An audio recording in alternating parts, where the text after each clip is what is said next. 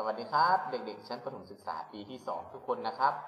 สำหรับวันนี้มาพบกับครูเด่นในรายวิชาคณิตศาสตร์นะครับเด็กๆวันนี้ครูเด่นจะพาเด็กๆไปเรียนเรื่องของการคูณนะครับพร้อมที่จะเรียนกันหรือยังครับ ไปกันเลยครับ การคูณวันนี้ครูเด่นจะพาเด็กๆไปอะไรครับ เรียนรู้พร้อมอะไรครับ กลุ่ม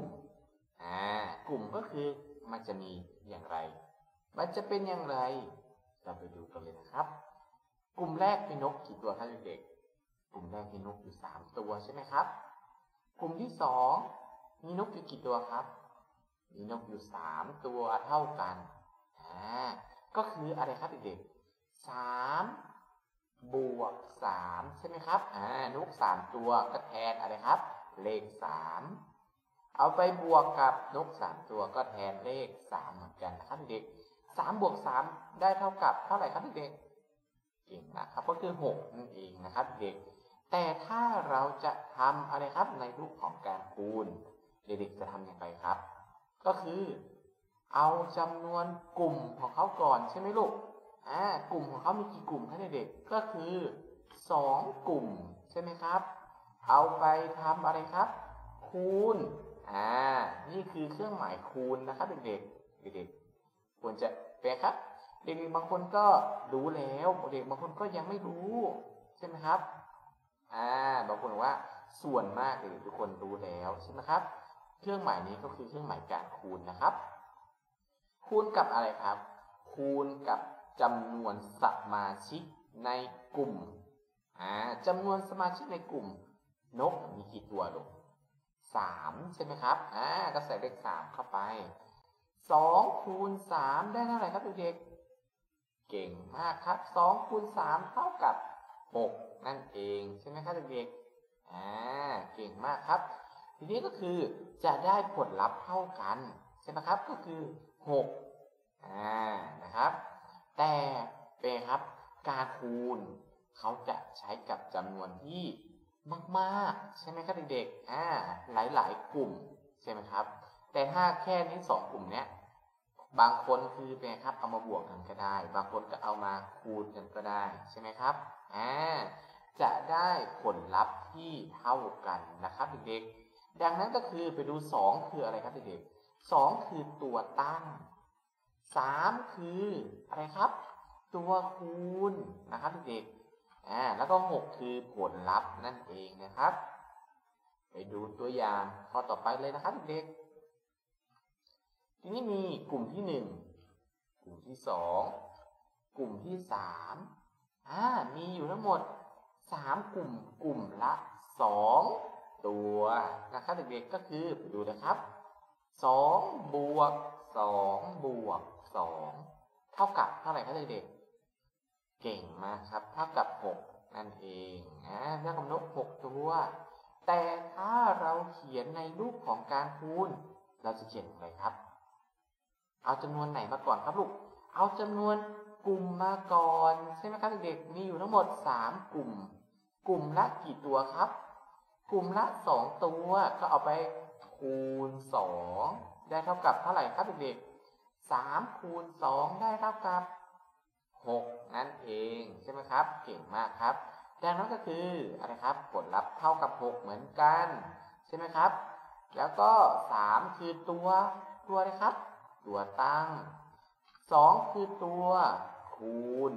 6 คือผลลัพธ์นั่นเองนะครับ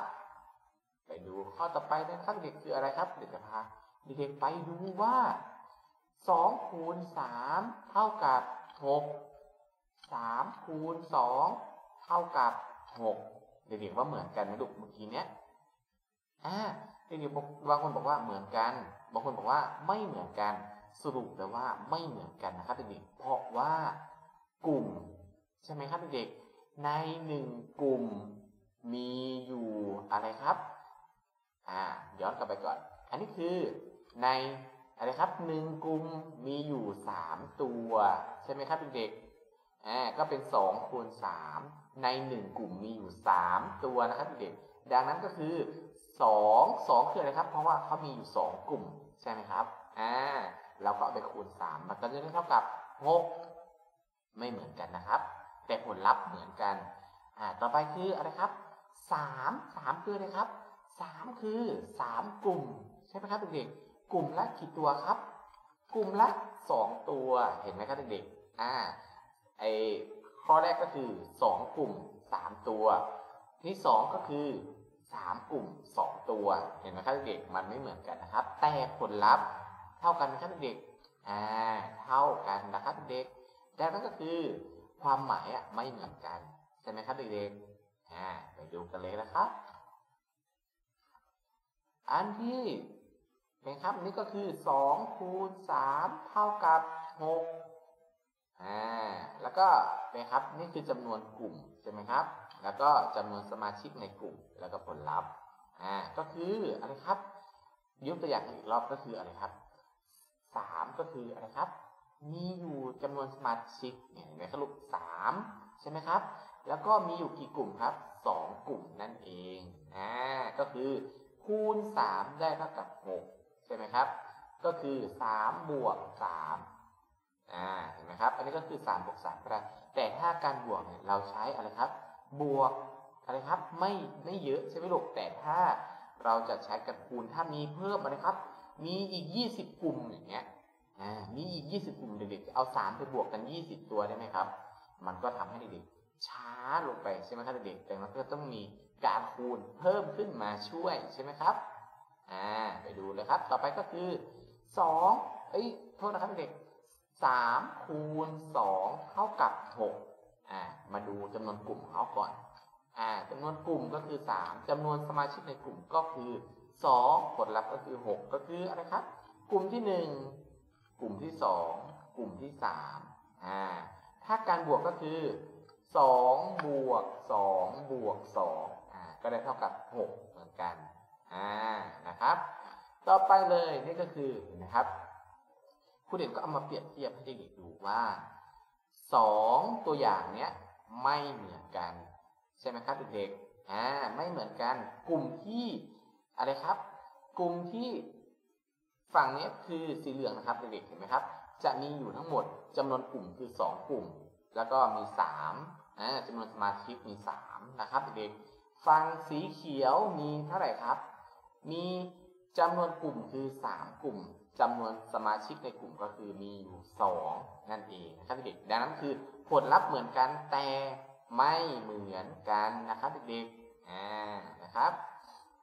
ต่อไปเลยนะครับเอาละครับเด็กๆสองคูณสามเท่ากับหก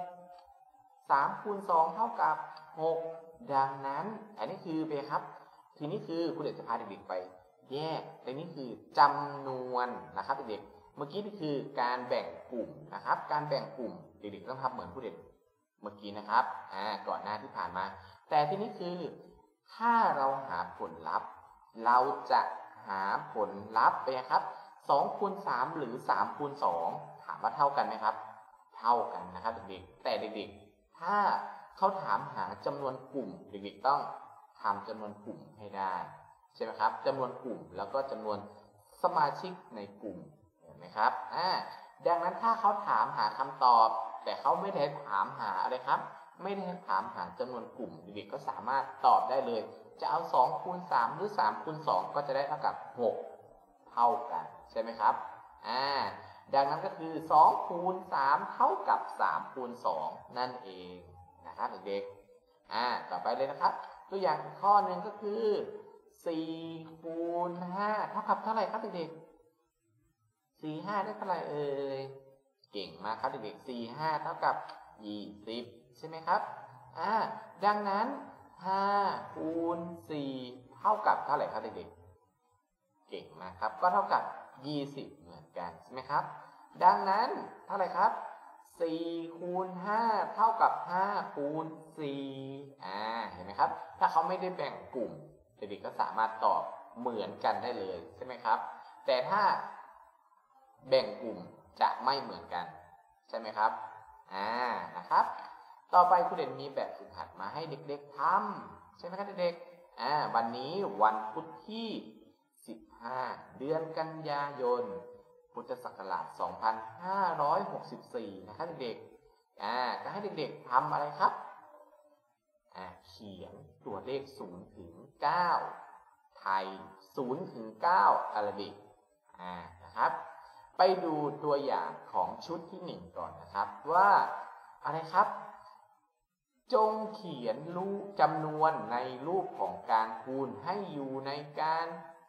รูปของการบวกนะครับเด็กๆทำยังไงเอ่ยก็คือเขามีโจทย์มาให้เลยก็คือ5คูณ2 5คืออะไรครับเด็กๆเด็กจำได้ไหมครับ 5 คือจำนวนอะไรครับจำนวนอะไรครับจำนวนกลุ่ม ใช่ไหมลูก5คือจำนวนกลุ่ม แสดงว่าเขาต้องมี 5 กลุ่ม ใช่ไหมครับเด็กๆอ่าแล้วก็2คือจำนวนสมาชิกในกลุ่ม5คือจำนวนกลุ่ม2คือจำนวนสมาชิกในกลุ่มอ่าแล้วจะเขียนได้ยังไงครับทีนี้จำนวนกลุ่มคืออะไรครับ2เป็นครับ5กลุ่มก็คือ กลุ่มที่1กลุ่มที่2กลุ่มที่3กลุ่มที่4กลุ่มที่5แต่จำนวนสมาชิกในกลุ่มมีเท่าไหร่ครับ 2อ่านะครับ ต่อไปข้อที่ 1 ก็คือเด็กๆทำจะจำเด็กๆจะทำได้ไหมครับ ก็คือมีกี่กลุ่มครับเด็กๆมีอยู่4กลุ่มใช่ไหมครับเด็กๆแต่สมาชิกในกลุ่มมีอยู่เท่าไหร่ครับ มีอยู่8นะครับ มีอยู่8อ่าเด็กๆจะทำยังไงทำเองเลยนะครับ5ข้อคุณเด็กมีตัวอย่างมาให้ใช่ไหมครับอ่าเด็กๆจะ ฝึกทำเองนะครับเด็กๆต่อไปเลยคืออะไรครับ ชุดที่2คุณเด็กให้เด็กๆเขียนอะไรครับจำนวนในรูปของการบวก ให้อยู่ในรูปของการคูณอ่าทำไงครับเด็กทำไหมครับ เก่งมากครับเด็กก็คืออะไรครับเจ็ดคืออะไรครับเจ็ดคืออะไรครับเจ็ดคือจำนวนสมาชิกในกลุ่ม และเจ็ดมีกี่ตัวลูก หนึ่งกลุ่มสองกลุ่มสามกลุ่มสี่กลุ่ม ก็คือมีสี่กลุ่ม แล้วก็มีจำนวนสมาชิกในแต่ละกลุ่ม อันนี้คือเจ็ดมีอยู่ในในนี้มีเจ็ดมีเจ็ดมีเจ็ดมีเจ็ดใช่ไหมครับ ดังนั้นข้อนี้ก็จะได้เท่าไหร่ครับสี่คูณเจ็ดอ่านะครับเด็กจะได้สี่คูณเจ็ดเห็นไหมครับ เด็กๆใส่ให้ถูกด้วยนะครับ ถ้าเด็กๆใส่อะไรครับจำนวนกลุ่ม กับจำนวนสมาชิกไม่ถูก แสดงว่าผิดนะครับเด็กๆแสดงว่าผิดนะครับอ่านะครับจำไว้เลยนะ ถ้าใส่จำนวนกลุ่มกับจำนวนสมาชิกผิด ถือว่าเด็กๆไม่ได้คะแนนนะครับเด็กๆถือว่าเด็กๆไม่ได้คะแนนนะครับอ่าโอเคนะครับเด็กๆสำหรับคลิปนี้ครูเรียนขอฝากการบ้านไว้ 10 ข้อนะครับเด็กๆให้เด็กๆทำแล้วก็อะไรครับ มันทบทวนบทเรียนด้วยนะครับเด็กๆสำหรับวันนี้ครูเรียนขอจบคลิปไว้เพียงแค่นี้ เอาไว้เจอกันในคลิปต่อไปนะครับ สวัสดีครับ